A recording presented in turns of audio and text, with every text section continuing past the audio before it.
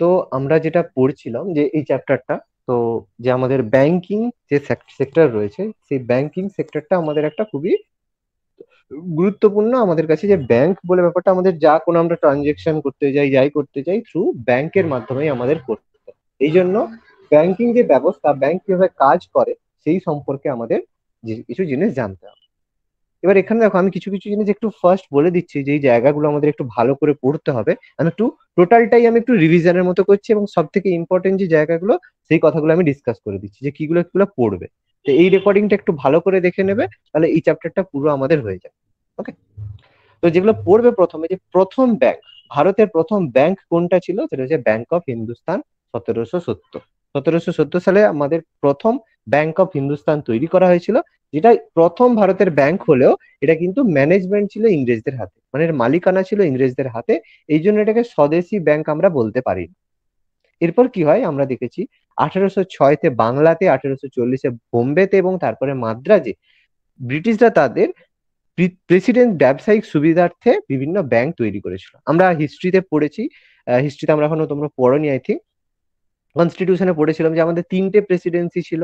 আমাদের Bombay Presidency Madras Presidency এবং Bangla Presidency এর মধ্যে সবার শেষে আমাদের তৈরি হয়েছিল বাংলা প্রেসিডেন্সি যেটা সতেরোশো খ্রিস্টাব্দে যখন ফোর্ট উইলিয়াম দুর্গ তৈরি হয়, তখনই বাংলা প্রেসিডেন্সি তৈরি করা হয় এবং ট্রান্সফার করা হয় বোম্বে থেকে মাদ্রাজ, আমাদের বাংলাতে। তারপর থেকেই বাংলার গুরুত্বটা যথেষ্ট বেড়েছিল। তো প্রথম তাহলে ব্যাংক আমরা পড়ব ব্যাংক অফ হিন্দুস্তান সতেরোশো সত্তর ইম্পর্টেন্ট প্রথম commercial bank first commercial bank যেটা হচ্ছে অদ কমার্শিয়াল ব্যাংক অদ বলতে অযোধ্যা। অযোধ্যাকে অদ বলা হয়। অদ কমার্শিয়াল ব্যাংক প্রথম আঠেরোশো একাশি। এবার কমার্শিয়াল ব্যাংক মানে কি? এর আগে যে ব্যাংকগুলো তৈরি হতো, এই যে ব্যাংক অফ হিন্দুস্তান এরা কিন্তু পাবলিকের সাথে কোনো রকমের ট্রানজেকশন করতো না।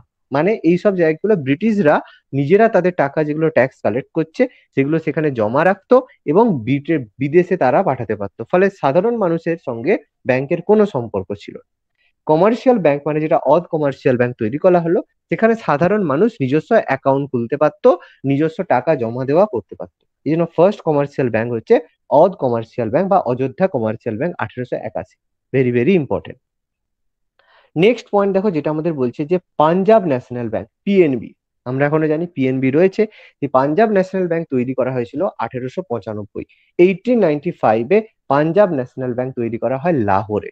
লাহোরে পিএনবি তৈরি করা হয়েছিল। খুব ইম্পর্টেন্ট এটা কিন্তু আমাদের যত ব্যাংক রয়েছে, তাদের মধ্যে সব থেকে পুরনো ব্যাংক আমরা বলি কিন্তু পাঞ্জাব ন্যাশনাল ব্যাংক সব থেকে পুরনো এইটিন মানে ভারতের স্বাধীনতার অনেক আগে। এরপর তৈরি করা হয় উনিশশো একাশি। এই সালগুলো কিন্তু পড়তে হবে। ব্যাংক অফ হিন্দুস্তান সতেরোশো সত্তর। Punjab national bank all commercial bank আঠেরোশো একাশি। পাঞ্জাব ন্যাশনাল ব্যাংক আঠেরোশো পঁচাশি। ইম্পেরিয়াল ব্যাংক অফ ইন্ডিয়া তৈরি করা হয় উনিশশো একুশে। তিনটে প্রেসিডেন্সি ব্যাংকে একত্রিত করে। মানে Bangla presidency bank Bombay presidency bank এবং মাদ্রাজ প্রেসিডেন্সি ব্যাংকে একত্রিত করে তৈরি করা হয় ইম্পেরিয়াল ব্যাংক অফ ইন্ডিয়া তাহলে ইম্পেরিয়াল ব্যাংক অফ ইন্ডিয়া কবে তৈরি হয়? উনিশশো একুশ সালে। এরপর কি করা হয়? যে আমাদের ভারত স্বাধীন হয়ে গেল উনিশশো সাতচল্লিশ সালে। কিন্তু ভারত স্বাধীন হওয়ার পরে কি দেখা গেল?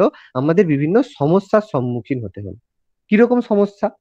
সমস্যার মধ্যে দেখব যে কি কি সমস্যা? যেহেতু ভারতের যে মানুষের কাছে যে টাকাগুলো ঠিকভাবে নেই। কিছু মানুষের হাতে প্রচুর টাকা আছে, কিছু মানুষের হাতে একদমই টাকা নেই। ফলে সব মানুষ সমাজভাবে ডেভেলপড হচ্ছে না। এবং সেই টাকাগুলো একটা জায়গায় যে মানে শহর কেন্দ্রিক একটা টাকা রয়ে যাচ্ছে। ফলে গ্রাম সেই জায়গায় ডেভেলপ হচ্ছে না। এবার যেহেতু সেটা কোনো পাবলিকের হাতে, কোনো একজন মানে যে মালিকের হাতেই টাকাটা থাকছে, তাহলে সে কি করবে? সবসময় প্রফিট আর্ন করার চেষ্টা করবে। ফলে ব্যাংকিং ব্যবস্থাটা সবার মধ্যে পৌঁছতে পারছে না। সেই কারণে কি হলো? উনিশশো পঞ্চান্ন সালে মানে আমাদের প্রথম পঞ্চবার্ষিকী পরিকল্পনার সময়ে আমাদের একটা all India rural credit committee তৈরি করা হয়। অল ইন্ডিয়া যে সারা ভারত, বিশ্ব, সারা ভারত একটা rural credit survey committee. Rural মানে গ্রাম কেন্দ্রিক ক্রেডিট মানে ধার দেওয়া। সেই সংক্রান্ত সার্ভে করার জন্য একটা কমিটি গঠন করা হলো। সে কি করল? সমস্ত ব্যাপারটাকে এক্সামাইন করল এই কমিটি। গঠন করে সে কি করল? যে ইম্পেরিয়াল ব্যাংকটা ছিল। মানে খুব বড় ব্যাংক ছিল তিনটে প্রেসিডেন্সি একত্রিত করে। তাকে নতুন ভাবে নামকরণ করা হলো স্টেট ব্যাংক অফ ইন্ডিয়া মানে যেটা আমাদের বর্তমানে এসবিআই সেটাকে ন্যাশনালাইজ বা জাতীয়করণ করল। যেহেতু জাতীয়করণ করল, তাহলে সরকার তার উপরে এবার কন্ট্রোল করতে পারবে, ফলে সাধারণ মানুষ সেখানে টাকা জমা রেখে নিজেদেরকে সেফ মনে করবে। নাহলে আমরা আমরা কি করি? যে প্রাইভেট ব্যাংকে টাকা রাখতে আমরা হচ্ছে একটু ভয় পাই। তার কারণ কি? মনে হয় যদি ব্যাংকটা উঠে যায়, তাহলে আমার সব টাকা জলে চলে যাবে। কিন্তু যদি ন্যাশনালাইজড ব্যাংক হয়, তাহলে সেই জায়গায় আমরা টাকা রাখতে সুবিধা বোধ করি। যে হ্যাঁ আমার টাকা যদি যায়, তাহলে সরকার সেটা দেখবে। তো এই কারণে কি ব্যাংকের ন্যাশনালাইজেশন খুব দরকার ছিল। এই জন্য এসবিআই কে ন্যাশনালাইজ করা হয় উনিশশো পঞ্চান্ন সালে। ইম্পিরিয়াল ব্যাংক থেকে নামকরণ করা হয় state bank of India okay এবার এসবিআই সংক্রান্ত কিছু ইনফরমেশন রয়েছে। কয়েকটা জিনিস পড়তে হবে। এসবিআই কে জাতীয়করণ করা হয় উনিশশো পঞ্চান্ন সালের ফার্স্ট জুলাই এর হেডকোয়ার্টার মানে প্রধান কার্যালয় রয়েছে মুম্বাইতে। ওকে মুম্বাইতে রয়েছে উনিশশো পঞ্চান্ন সালে এসবিআই তৈরি করা হয়, জাতীয়করণ করা হয়, নামকরণ করা হয় হেড অফিস রয়েছে মুম্বাইতে। এটা ভারতের বৃহত্তম ব্যাংক এর নাম আছে সবচেয়ে বড় গিনেস বুকের নাম আছে। মনে রাখবে, এসবিআই এর সাতটা সহযোগী ব্যাংক রয়েছে অ্যাসোসিয়েট ব্যাংক বলা হয়। কি কি? এত পড়ার দরকার নেই, মনে রাখবে, কটা সহযোগী ব্যাংক এসবিআই রয়েছে, সাতটি সহযোগী ব্যাংক ব্যাংক প্রথম অবস্থায় ছিল এরপরে ভারতীয় মহিলা ব্যাংকে দু হাজার সতেরো সালে যুক্ত করা হয়। তাহলে বর্তমানে এসবিআই এর কতগুলো অ্যাসোসিয়েট ব্যাংক রয়েছে? আটটা হবে তাহলে। আটটা হবে তাহলে ওকে আর এদের একটা স্লোগান থাকে। স্লোগান বলতে দেখবে প্রত্যেক ব্যাংকের একটা ট্যাগ লাইন থাকে এলআইসির যেমন থাকে। এলআইসির কি ট্যাগ লাইন জানো? এলআইসির ট্যাগ লাইন জিন্দেগি কে সাথ ভি জিন্দেগি কে বাদ তাই তো? হ্যাঁ তাহলে এইরকম এগুলো ট্যাগ লাইন থাকে ব্যাংকের। সেগুলো হচ্ছে তার এসবিআই ট্যাগ লাইন হচ্ছে with you all the way তো তাহলে আমরা এখান থেকে কি কি পড়ব? বুঝতে পারলে তো রিপা? কি কি জিনিসগুলো পড়তে হবে? আমি যেই যেই পয়েন্টগুলো বললাম পার্টিকুলার সেগুলোই পড়ো। বেশ মানে প্রচুর পড়তে হবে না। এখানে বলা আছে কোন ব্যাংক কবে তৈরি হয়েছিল তার মধ্যে অলরেডি আমরা পড়ে নিয়েছি Punjab national bank eighteen ninety ফোরে আর একটা শুধু পড়বে এই যে oriental bank of commerce nineteen forty থ্রিতে বাকি কিচ্ছু দরকার নেই। ব্যাংক অফ ইন্ডিয়া উনিশশো ছয় দেখতে পারো, স্বাধীনতার আগে যেহেতু তৈরি হয়েছিল প্রথম, বোম্বে রিজিয়নে দেখতে পারো না লাগলেও কোনো অসুবিধে এবার এখানে কয়েকটা বলা আছে, স্বাধীনতার পরবর্তী যুগে ভারতীয় ব্যাংকিং ব্যবস্থার ক্ষেত্রে কি হতো? কি কি সমস্যাগুলো দেখো এখানে বলা রয়েছে। যে বললাম যে ব্যাংকগুলোর শাখা বিশেষ শহর বা শিল্পাঞ্চলেই গঠিত হতো, কারণ সেই জায়গা থেকে তারা বেশি ক্রেডিট তারা পেতে পারতো, সাধারণ মানুষ থেকে সেখানে লাভ হতো, ফলে গ্রামের মানুষরা ব্যাংকিং থেকে দূরে ছিল পঞ্চবার্ষিকী পরিকল্পনার সময় এই ব্যাংকগুলো ফলে সাহায্য করতে স্বাধীনতার পরবর্তীকালে ব্যাংকগুলো কি সব সরকারি না বেসরকারি অবস্থায় ছিল? সরকারি আওতায় চলে ব্যাংক কখনো ব্যাপারটা দেখো সরকারি ব্যাংক কখনো ব্যাপারটা যতই আমাদের বলা হয় সরকারি ব্যাংক ব্যাপারটা কিন্তু সরকারি ব্যাংক হয় না। সরকারি সরকারের কিন্তু কোনো ব্যাংক নেই। সরকারের একমাত্র ব্যাংক বলতে যে ব্যাংককে ন্যাশনালাইজ করা হয় বা জাতীয়করণ করা হয়। মানে কি? তার উপর গভর্নমেন্ট কন্ট্রোল করবে, তার উপরে গভর্নমেন্ট বিভিন্ন রেস্ট্রিকশন চাপাতে পারে যেমন এসবিআই এসবিআই যদি এসবিআই কি সরকারি ব্যাংক এসবিআই কিন্তু সরকারি ব্যাংক পিএনবি কি সরকারি ব্যাংক পিএনবি সরকারি ব্যাংক নয় পিএনবি ন্যাশনালাইজড ব্যাংক মানে জাতীয়করণ ব্যাংক মানে গভর্নমেন্ট ওর উপরে বিভিন্ন রুলস রেগুলেশন চাপাতে পারে বা কন্ট্রোল করতে পারে। মানে যেটা যেমন অ্যাক্সিস বলো আর এই আমাদের পিএনবির মধ্যে। পার্থক্য কি? অ্যাক্সিসের যে ম্যানেজমেন্ট মানে যে মালিকানা, তার মেজর পোর্শন মানে প্রায় টোটালটা রয়েছে পাবলিকের হাতে। মানে যে মালিক রয়েছে আর যে সাধারণ মানুষদের কিছু শেয়ার দিয়েছে। ফলে অ্যাক্সিস ব্যাংকের যারা মানে মালিক, তারা নিজেদের মতো করে ক্রেডিট দেবে, নিজেদের মতো করে অবশ্যই প্রত্যেককে রিজার্ভ ব্যাংকের কাছ থেকে সম্মতি নিতে হবে। কিন্তু কত টাকার লোন দেবে, কত পার্সেন্ট ইন্টারেস্ট দেবে, এটা ব্যাংক নিজেই ডিসাইড করবে। মানে অ্যাক্সিস ডিসাইড করবে যে কত টাকা আমার মিনিমাম হচ্ছে ব্যালেন্স রাখতে হবে। সেগুলো সমস্ত কিছু কিন্তু অ্যাক্সিস ব্যাংকই ডিসাইড করবে। অ্যাক্সিস ব্যাংকের যে ম্যানেজমেন্ট রয়েছে, মালিক রয়েছে, তারা ডিসাইড করবে। কিন্তু পিএনবি বলো এসবিআই বলো, এগুলো যেহেতু সরকার কি করে, এর জায়গায় সরকার এর অনেকটা অংশ শেয়ার হিসেবে রেখেছে। বাকিটা অংশ গভর্নমেন্ট কি করেছে পাবলিকদের হাতে দিয়েছে। আর কিছুটা অংশ এর যে মালিক, তাদের হাতে থাকে। মানে পার্সেন্টেজটা কম। যেহেতু গভর্নমেন্টের এর মধ্যে শেয়ার থাকে এই জন্য এটাকে ন্যাশনালাইজড ব্যাংক বলা দুটোর মধ্যে পার্থক্য বুঝতে পারলে, দীপা? হ্যাঁ স্যার, তাহলে স্যার যেগুলো ন্যাশনালাইজড হচ্ছে, সেগুলো কি আরবিআই এর আওতায় থাকবে? প্রত্যেকেই আরবিআই যে কোনো ব্যাংক হতে গেলে তাকে আরবিআই এর আওতাতেই থাকতে আওতায় মানে কি? দেখো, আওতায় মানে আমি একটা জিনিস তোমাদের বলছি, দেখো, যে কোনো জিনিস কারও ব্যাংক কখনো কারও আওতার মধ্যে থাকে আমি তোমাদের একটু ক্লিয়ার করছি, দেখো। যে সাপোজ তুমি এ একজন ব্যক্তি বি একজন ব্যক্তি, ঠিক আছে? দুজনেই কি হলো? যে আমার হচ্ছে একশো কোটি টাকা লটারিতে জিতলো। দেখো, দুজনের মধ্যে পার্থক্যটা বলে দিচ্ছি, দেখো খুব ভালোভাবে বুঝে যাবে তো এরা মনে হলো এরা ব্যাংক এদের মনে হচ্ছে যে আমি এ একটা ব্যাংক বি একটা ব্যাংক খুলবো। এবার ব্যাংক তুমি তো নিয়ে দোকান দোকান খোলার মতো বসে গেলে হবে না, তখন তোমাকে যেতে হবে আরবিআই এর কাছে। রিজার্ভ ব্যাংকের কাছে তুমি গেলে। রিজার্ভ ব্যাংক তখন বলবে যে হ্যাঁ আমি দিচ্ছি, কোনো অসুবিধা নেই। তুমি এসে ব্যাংক খুলতে পারো, কিন্তু আমার কাছে তোমাকে দশ টাকা বা দশ পার্সেন্ট রাখতে হবে। তুমি যদি একশো কোটি টাকা নিয়ে আসো, তাহলে দশ কোটি টাকা আমার কাছে রাখো, বাকি নব্বই কোটি টাকা নিয়ে তুমি মার্কেটে যা ইচ্ছে যা ইচ্ছে নয় মানে লোন দাও এবং সেই লোনগুলো তুমি তোমার মতো করে দিতে পারো, কোনো অসুবিধা নেই। এবং তার মালিকানা তোমারই থাকবে, তুমি তোমার মতো করে লোন দাও, কিন্তু আমার কাছে তোমাকে টেন পার্সেন্ট দিয়ে যেতে হবে। টেন পার্সেন্ট সবসময় আমার কাছে রাখতে হবে। কারণ তুমি যদি হাওয়া হয়ে যাও, তাহলে আমাকে, তোমার যে কাস্টমার রয়েছে, তাদেরকে কিছু টাকা দিতে হবে। তার মানে এ ব্যাংক হয়ে গেল কি? প্রাইভেট ব্যাংক মানে আরবিআই এর আন্ডারে থাকল, কিন্তু সে কিন্তু আরবিআই রুলস মানলো, কিন্তু বাকি নব্বই কোটি টাকার সে যে কাজ করছে, সেটা কিন্তু নিজের মতো করতে পারে এবার বি একটা ব্যাংক সে একশো কোটি টাকা তার রয়েছে বা তার কাছে সেই একশো কোটি টাকা রয়েছে। তার মনে হয়েছে যে সে আরবিআই এর কাছে এলো, দিয়ে বলল যে আমি ব্যাংক খুলতে চাই। তখন আরবিআই বলছে, তুমি কি টোটাল ম্যানেজমেন্টের দায়িত্ব নেবে? না, তুমি একশো কোটি টাকা তোমার হয়তো, তুমি চাইছো রেভিনিউ একশো কোটি টাকা, বা তুমি চাইছো যে তুমি একটা ব্যাংক খুলবে, পাঁচশো কোটি টাকার করবে। ওকে পাঁচশো কোটি টাকার তুমি ব্যাংকে ট্রানজেকশন করতে চাইছো, কিন্তু তোমার কাছে আছে একশো কোটি টাকা। ওকে এবার তুমি কি করতে পারো? এই একশো কোটি টাকার মধ্যে তুমি কি করতে পারো? এই পাঁচশো কোটি টাকার মধ্যে তুমি কি করলে? বি কি করল? পাঁচশো মানে সরি এটা একটু অন্যভাবে বলছি। এটাকে একটু এটাকে একটু অন্যভাবে বলছি। সাপোজ ধরো যে একটা পি ব্যাংক তৈরি করা হবে। একটা পি ব্যাংক তৈরি করা হচ্ছে, সেই পি ব্যাংকের রেভিনিউ বলো টোটাল পাঁচশো কোটি টাকা। তার মধ্যে বি ব্যাংক বলল, আমি একশো কোটি টাকা দেবো কন্ট্রিবিউশন করব তার মধ্যে। এর মধ্যে সি এলো, সে বলল, আমি একশো কোটি টাকা দেবো। গভর্নমেন্ট বলল, আমি এখানে বাকি তিনশো কোটি টাকা আমি এখানে দেব। ওকে এবার এই ব্যাংকের মধ্যে তাহলে এর মধ্যে মানে ম্যানেজমেন্ট সরি গভর্নমেন্ট কি করল? এখানে কম বলছি। গভর্নমেন্ট হচ্ছে তিরিশ কোটি টাকা দিল। একটু কম কম করছি। আর ডি পোর্শন বাকি পোর্শনটা এলো, সে কি করল? বাকি টাকাটা তোমাদের একশো, দুশো হলো সাড়ে তিন কত হবে? দুশো আড়াইশো টু ফিফটি এরকম দিল। তার মানে কি? বিভিন্ন মালিক রইল, যারা মিলে একটা পি ব্যাংক তৈরি করল। এবার এই ব্যাংকের উপরও কিন্তু, এই ব্যাংকের পাঁচশো কোটি টাকার উপরও কিন্তু আরবিআই বলবে টেন পার্সেন্ট টাকা আমার কাছে জমা রাখো। কিন্তু এই জায়গার ডিসিশন মেকিং বা ম্যানেজমেন্টের দায়িত্ব কার হাতে আসবে? তোমাদের মানে এই যে বি ব্যক্তি মানে যার শেয়ার বেশি থাকবে মানে এই যে এখানে তোমার ধরো এখানে ডি ব্যক্তি, তার কাছে বেশি শেয়ার রয়েছে, তাহলে সে কি করবে? ডিসিশন নেবে এবং তার লাভ্যাংশ প্রত্যেকের মধ্যে ডিস্ট্রিবিউট করবে। এবং এই জায়গায় যেহেতু দেখো গভর্নমেন্টের শেয়ার রয়েছে গভর্নমেন্টও যেহেতু এখানে তার মানে ইনভেস্ট করেছে, তাহলে গভর্নমেন্টও এর উপরে যতটা শেয়ার পাবে বা তার সাথে সাথে গভর্নমেন্ট একে রেস্ট্রিকশন দিতে পারবে। যেহেতু তার শেয়ার রয়েছে, তখন এই জায়গাগুলো হয়ে যাবে ন্যাশনালাইজড ব্যাংক তাহলে প্রাইভেট ব্যাংক আর ন্যাশনালাইজ ব্যাংকের মধ্যে পার্থক্য বুঝতে পারলে এবার?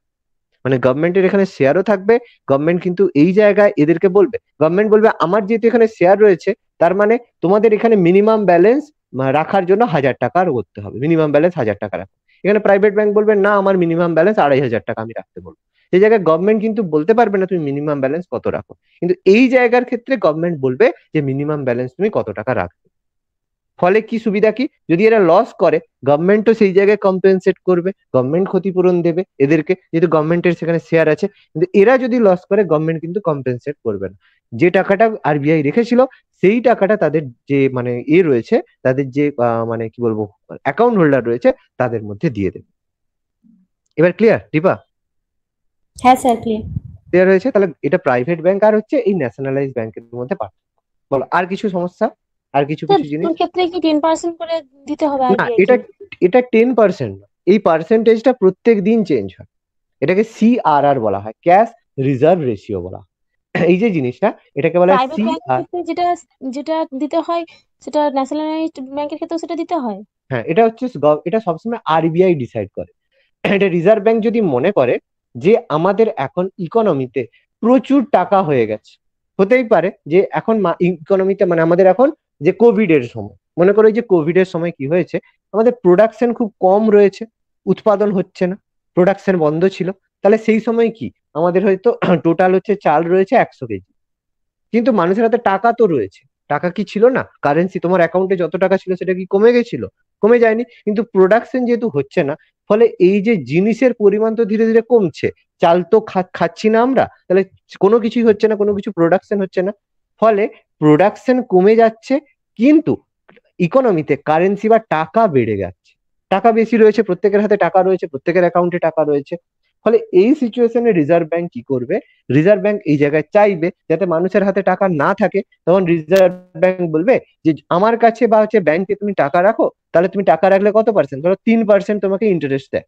জেনারেলি দিয়ে থাকে থ্রি পার্সেন্ট এবার ব্যাংক যদি বলে, তোমরা এখানে একটা, আমি একটা স্কিম চালু করছি, সেখানে তোমরা যদি পাঁচ বছর বা এক বছরের জন্য বা দু বছরের জন্য টাকা রাখো, তাহলে আমি ফাইভ পার্সেন্ট ইন্টারেস্ট দেবো।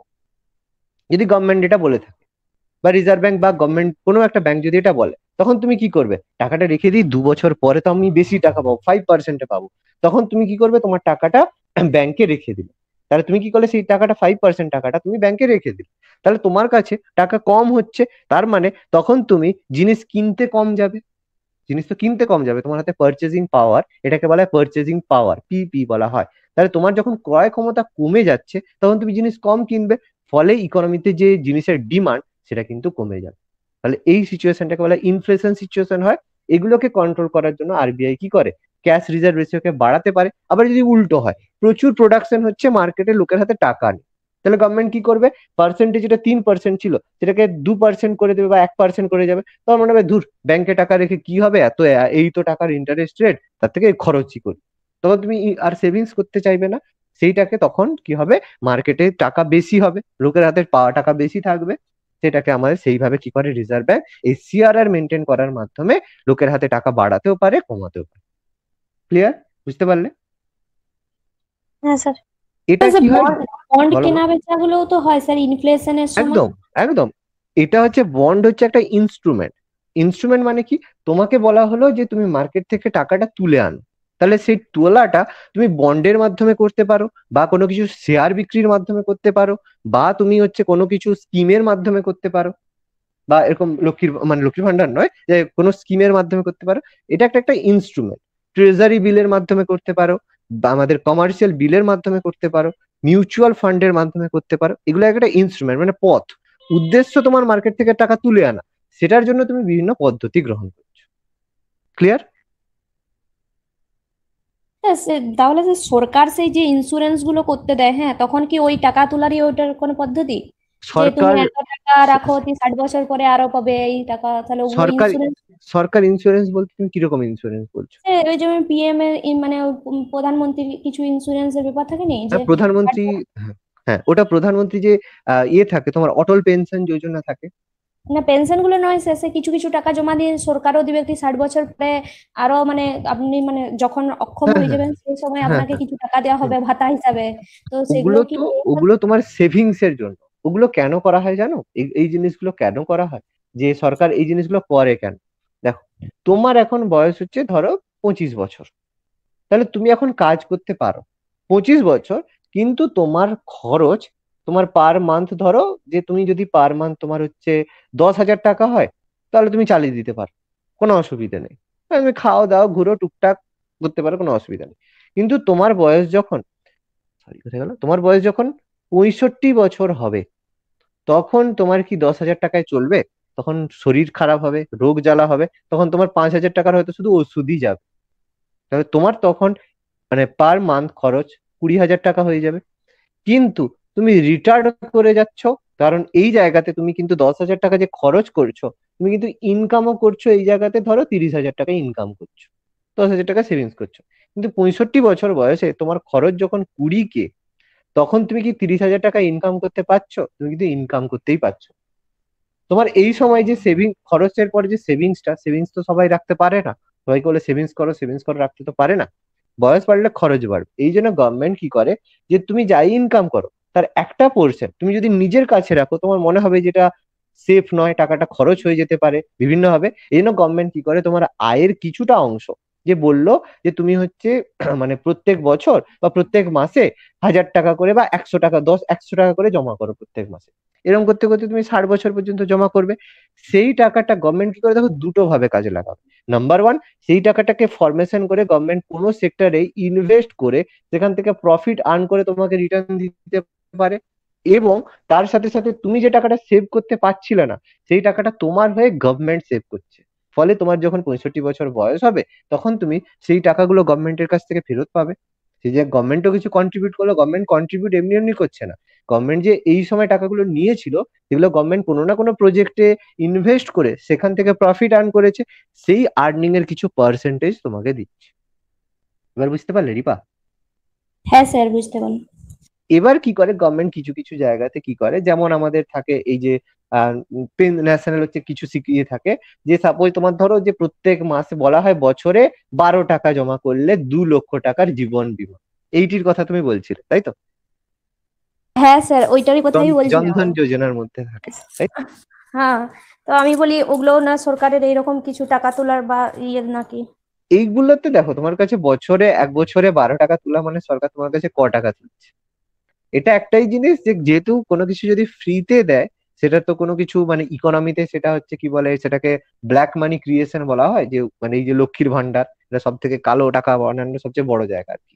ব্ল্যাক মানি ছাড়া এটা কিছুই না। যাই হোক, তো তো এই যে টাকাগুলো হচ্ছে, এই যে টাকাটা গভর্নমেন্ট নিচ্ছে, এটা কি হয় সাধারণ মানুষের ভর্তুকি দেওয়ার মতোই ব্যাপার? তোমার কাছে বছরে বারো টাকা নিচ্ছে মানে তোমার কাছ থেকে নিচ্ছে আর ক টাকা? এটা শুধু দিচ্ছে তোমরা যাতে কোনো অ্যাক্সিডেন্টাল হলে গভর্নমেন্ট দেখো এমনি কোনো জায়গায় অ্যাক্সিডেন্ট হলে দেখো এক লাখ টাকা দু লাখ টাকা এমনি দিয়ে দেয়। তার থেকে যদি একটা হলে আর হলে দেই তো দু লাখ টাকা করে না কত বলা আছে? এক লাখ টাকা হলে যদি অ্যাক্সিডেন্ট হয় মারা গেলে দু লাখ টাকা কিছু কিছু ক্ষেত্রে আবার পাঁচ লাখ টাকাও দেয়। এগুলো তো গভর্নমেন্ট দেয় গভর্নমেন্টের এগুলো খাতে থাকে। তার জায়গায় গভর্নমেন্ট যদি সবাইকেই এরকম টাকা নেওয়ার মাধ্যমে ওয়েলফেয়ার করতে চায় তাহলে সবার মনে হবে আমরা একটা অধিকারে পাচ্ছি। এমনি দিয়ে দিলে মনে হবে ভিক্ষা পাচ্ছি দিলে মনে হবে অধিকারে পাচ্ছি। সেই জন্য নিয়ে আসা। গভর্নমেন্ট জেনারেলি যেগুলো টাকা কালেক্ট করে যে তুমি যেটা বললে বন্ড মিউচুয়াল ফান্ড এগুলোর মাধ্যমে মেনলি গভর্নমেন্ট কালেক্ট করে টাকা। মানে যেটাকে রেভিনিউ বলা বুঝে গেছে? হ্যাঁ স্যার এরপর বুঝা গেছে ওকে আর কিছু জানার কোনো কোশ্চেন শিউলি?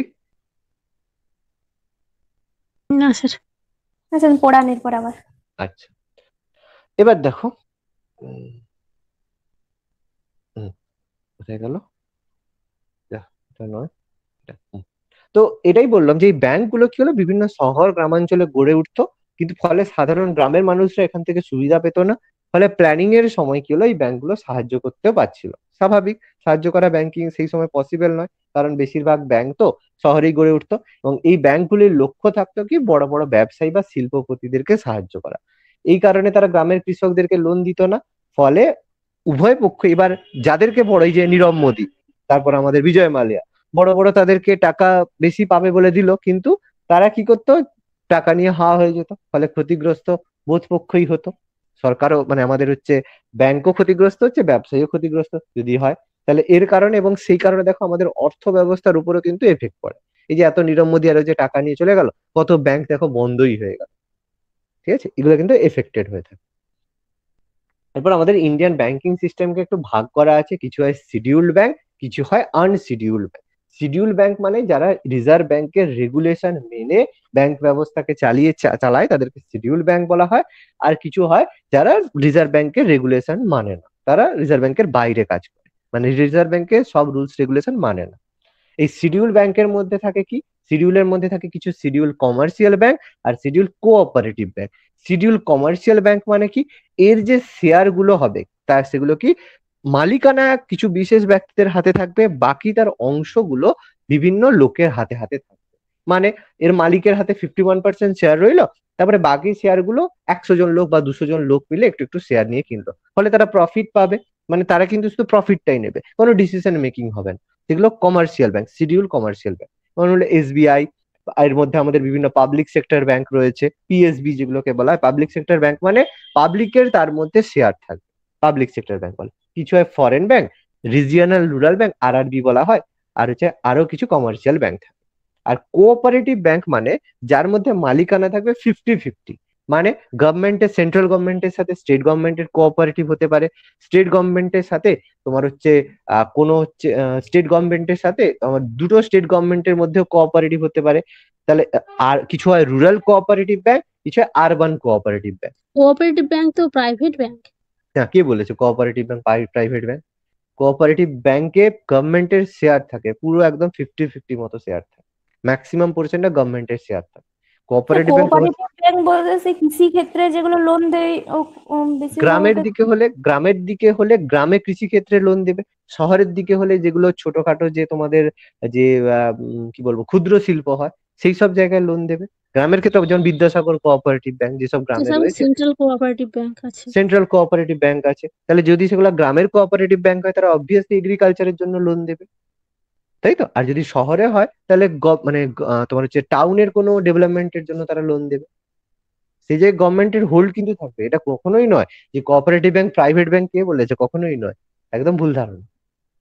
ওকে এই যে দেখো বলাই আছে দেখো আরবানের মধ্যে সিঙ্গেল আর মাল্টি স্টেট ঠিক আছে? অনেক রাজ্যগুলো একসাথে মিলেও কিন্তু কোঅপারেটিভ ব্যাংক তৈরি করে। আর এখানে দেখো রুরালের মধ্যে দেখো স্টেট তাহলে এখানে টাকা রাখলে এখানে টাকা রাখলে যদি কোনো ক্ষতিগ্রস্ত হয় তাহলে টাকা ফেরত পাওয়া যাবে? হ্যাঁ নিশ্চয়ই পাওয়া যাবে। কেন পাওয়া যাবে? লোকে কোঅপারেটিভে রাখতে বেশি স্বাচ্ছন্দ্য বোধ করে। কোঅপারেটিভ এমনি ব্যাংকের থেকে কোঅপারেটিভ ব্যাংকে টাকা রাখা অনেক ভালো। ভালো জিনিস কে বলেছে খারাপ তোমাকে? ব্যাংকের থেকে কিন্তু কোঅপারেটিভ ব্যাংকের অসুবিধা কি? তুমি টাকা তুলতে গেলে তোমাকে ড্রাফট দিতে হবে? এটিএম দেবে না। তুমি সেগুলোকে ইউজ করে টাকা রাখতে পারো। এখন দেয় না? এখন এখন দেয়। এটিএম আচ্ছা। হয়ে আমার একটা অ্যাকাউন্ট আছে। হ্যাঁ এবার সেখানে তো তোমার অনেক রকম রেস্ট্রিকশন আছে। এই গুগল পে হয়তো হবে না। কিছু না কিছু মানে রেস্ট্রিকশন তো থাকবেই বা তোমার হয়তো পেমেন্টের যে হাইয়েস্ট মেথড যে এত টাকার বেশি তুমি খরচ করতে পারবে না। কিছু মানে তোমাকে রেস্ট্রিকশন তো অবশ্যই থাকবে। মানে অতটা ফ্লুয়েন্ট নয়। হয়তো বলবে বিগ বাজারে গেলে এর কোঅপারেটিভ ব্যাংক অ্যাকসেপ্টেড নয়। লেখাই আছে দেখো এসবিআই এর হয়তো কার্ড অ্যাকসেপ্টেড সেখানে তোমার সেই কোঅপারেটিভ ব্যাংকের কার্ডই অ্যাকসেপ্টেড না। তোমার ব্যাংকের অ্যাকাউন্ট থেকেও লাভের লাভ কি হলো? বুঝতে পারলে? এবার কি ব্যাপারটা? হ্যাঁ স্যার। তো এবার বলে একটা হয় না? ওটা সম্পর্কে একটু বলবেন? ভেরি গুড মিউচুয়াল ফান্ড দেখো মিউচুয়াল ফান্ড জানতে গেলে প্রথমে জানতে হবে আগে শেয়ার মার্কেট বা শেয়ার বাজারটা কি? তাহলে মিউচুয়াল ফান্ড বুঝতে পারবে। দেখো সবচেয়ে প্রথমে বড় যেটা জিনিস, সেটা হচ্ছে কি আমাদের শেয়ার মার্কেট বা শেয়ার বাজার। শেয়ার বাজারের ক্ষেত্রে কি হয় যে শেয়ার বাজার হচ্ছে এরকম একটা বড় মার্কেট একটা বড় এরকম একটা মার্কেট মনে করলাম। সেখানে মনে করলাম আমার একশোটা কোম্পানি আছে। এটা হচ্ছে এ কোম্পানি এটা বি কোম্পানি এটা সি কোম্পানি এটা ডি কোম্পানি এটা ই কোম্পানি এটা এফ কোম্পানি ওকে বড় বড় কিছু কোম্পানি রয়েছে। তাহলে এখানে কি হয়? এই কোম্পানিগুলো কি হয় তাদের বিভিন্ন শেয়ার থাকে। মানে কোম্পানিটা কি করে? বিভিন্ন অংশে অংশ করে এরকম করে ভাগ করে রাখে। মানে তাদের অংশ যেরকম আমরা মিষ্টির পিস করি না? এরকম পিস পিস করে ভাগ রেখেছে। তাহলে সেটা কি করে? কেউ একশোটা পিসেও ভাগ করতে পারে, কেউ দুশোটা পিসেও করতে পারে, সে তার মতো করে। এবার এর একটা পিস মানে এই একটা জায়গার পিস যেটাকে মনে করলাম তার নাম হচ্ছে পি এই একটা পিস তুমি কিনতে চাইছো। তাহলে এখানে পাবলিক মানে তোমাদের পাবলিক রয়েছে, মানুষ রয়েছে পাবলিক চাইলে কি করে? সাপোজ এ ব্যাংকের এই পি শেয়ারটাকে সে কিনতে পারে। তাহলে পি শেয়ারটা কিনলে তার লাভ কি? যদি এ কোম্পানি লাভ করে, যেহেতু তুমি তার একটা অংশের মালিকানা তোমার রয়েছে পি অংশের মালিকানা তোমার রয়েছে, তাহলে লাভ করলে তাহলে পি পি অংশটা হয়তো তোমার তোমার ধরো টেন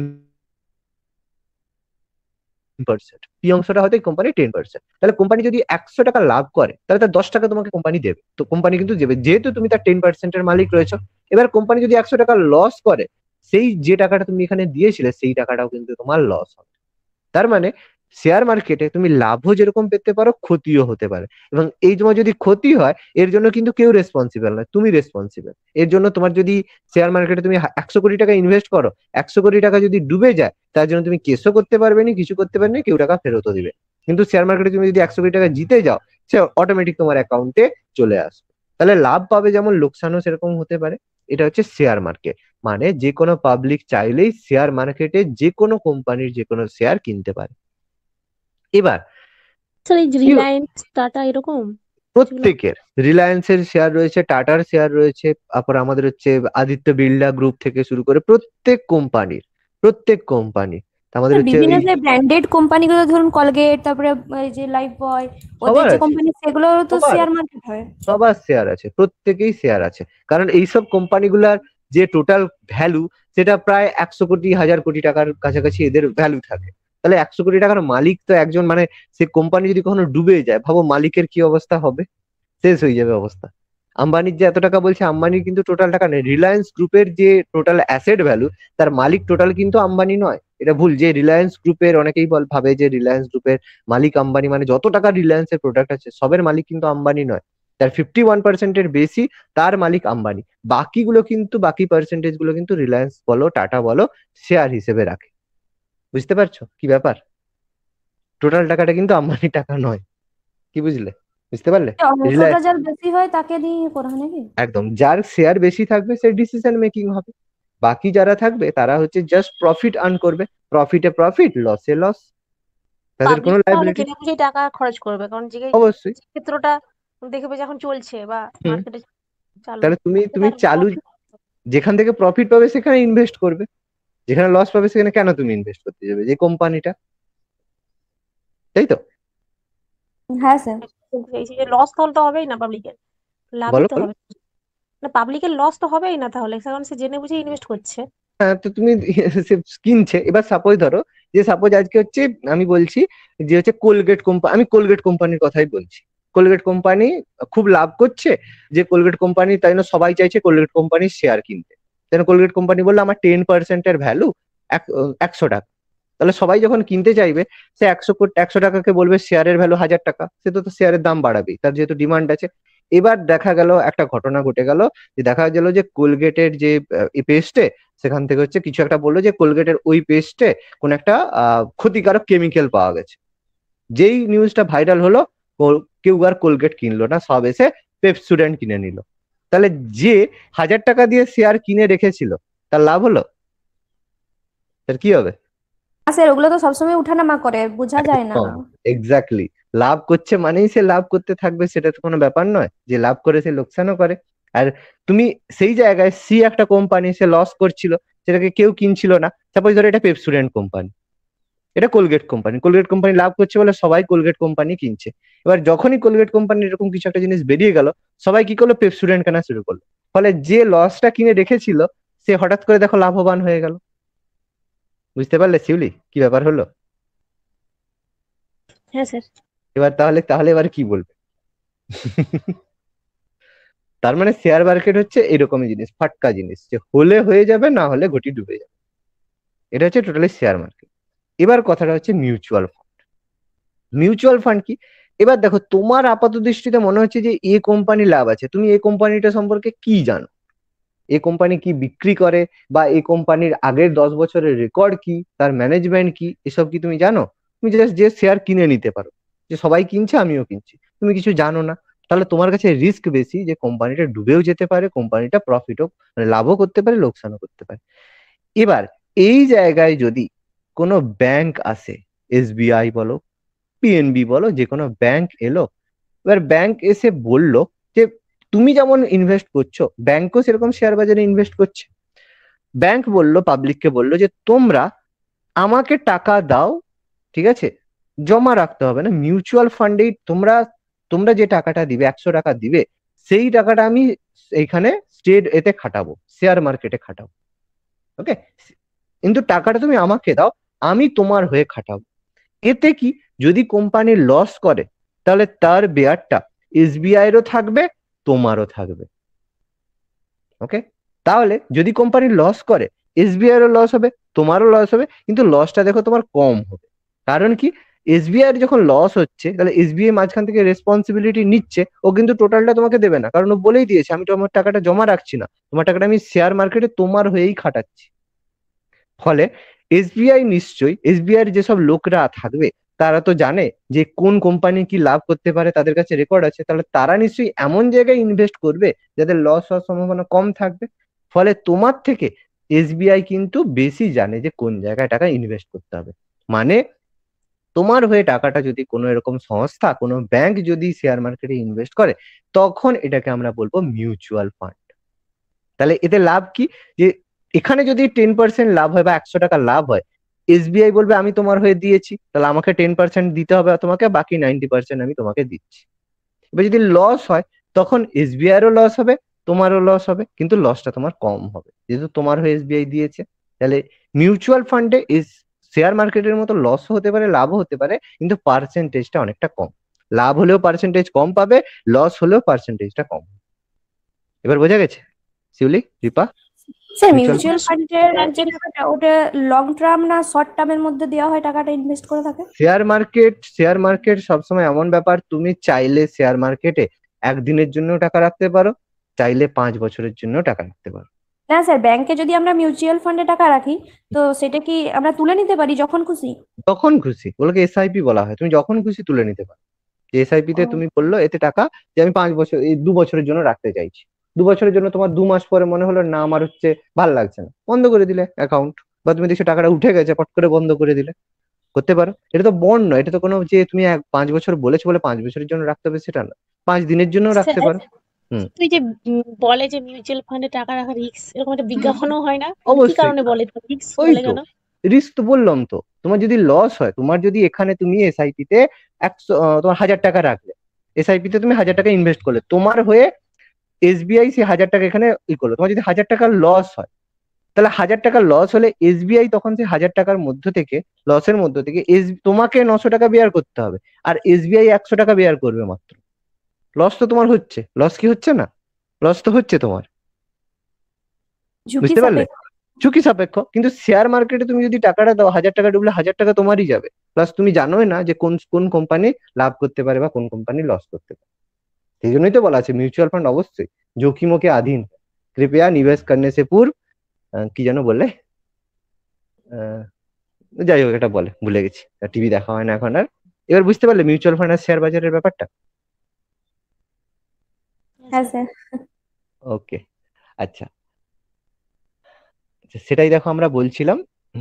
এবার যে আমাদের রিজার্ভ ব্যাংকের কীভাবে আমাদের জন্ম রিজার্ভ ব্যাংক আমাদের প্রথম সেন্ট্রাল ব্যাংক মানে কেন্দ্রীয় ব্যাংক আমরা জানি যেটা আমাদের উনিশশো তেরো সালে প্রথম চেম্বারলেন কমিশন রিজার্ভ ব্যাংকের সুপারিশ করলেও গঠন হয়েছিল উনিশশো ছাব্বিশ সালে যে একটা হিল্টন ইয়ং কমিশনের সুপারিশ। প্রথম reserve bank act RBI act pass করা হয় উনিশশো চৌত্রিশ সালে।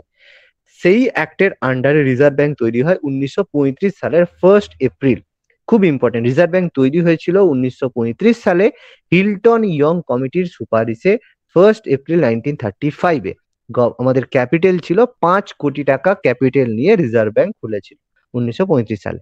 ফার্স্ট গভর্নর ছিল অসবর্ন স্মিথ যেহেতু ভারত তখন পরাধীন ছিল, তখন প্রথম গভর্নর ছিল অসবর্ন স্মিথ এবং একটা ভালো জিনিস মনে রাখবে এই যে রিজার্ভ ব্যাংক গঠনের পিছনে একজনের অবদান ছিল সবচেয়ে গুরুত্বপূর্ণ, সেটা হচ্ছে, বলতে পারবে? তার লেখা বই, দুটো বইয়ের উপর ভিত্তি করে রিজার্ভ ব্যাংক গঠিত হয়েছে। এই হিল্টন ইয়াং কমিশন যে সুপারিশ করেছিল, সেই তার বইয়ের ভিত্তিতে। সেই পার্সনটা কে? সেই পার্সনটা কে? অবাক হয়ে যাবে নামটা শুনলে। রিপা এনি আইডিয়া কোন পার্সন না স্যার মনে আসছে না। ডক্টর বি আর আম্বেদকর কি বুঝলে? কি বুঝলে বলো? এটা হচ্ছে আম্বেদকর। আম্বেদকারের লেখা বই ইকোনমিক্স এর উপর সেই বইয়ের উপর ভিত্তি করে রিজার্ভ ব্যাংক গঠিত হয়েছিল। ভাবো কোন লেভেলের পার্সন আম্বেদকর? বুঝলে? জানা ছিল না স্যার এটা। অবভিয়াসলি সবকিছু সব যদি জানা থাকবে তাহলে আমি কেন বলব? আমি আগেও বলেছি ক্লাসে রেকর্ডিং দেওয়া আছে দেখোনি তোমরা।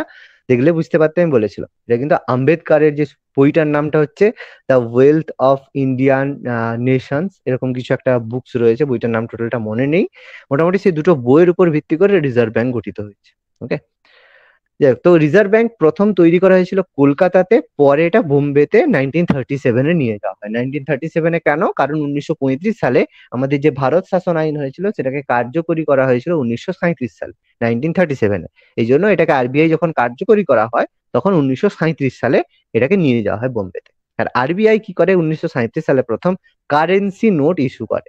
কারেন্সি নোট মানে যে কারেন্সি মানে টাকার যে নোট নোট ইস্যু করা আরবিআই উনিশশো সাঁইত্রিশ সালে করে।